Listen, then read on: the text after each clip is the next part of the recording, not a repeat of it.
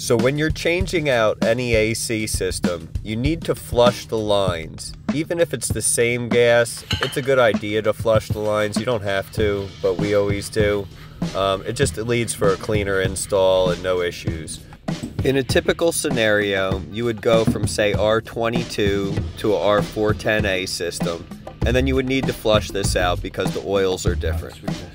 Uh, so what you have to do really is you have to take these three items if you're using this kind of flush. This is called a Pro Flush. It contains nitrogen and a container filled with an acidic solvent that's pressurized and shot down the refrigeration lines.